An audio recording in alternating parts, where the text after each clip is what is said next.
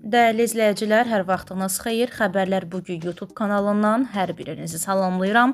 Videomuzu maksimum bəyənib kanala abunə olun.